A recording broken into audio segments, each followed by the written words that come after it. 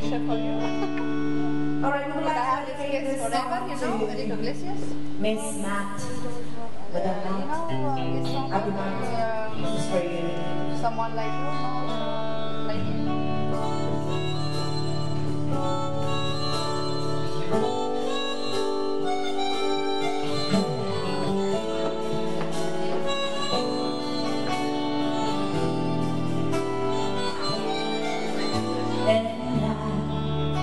Never thought I'd feel this way. And as far as I'm concerned I'm glad I chance to say That I believe I love you.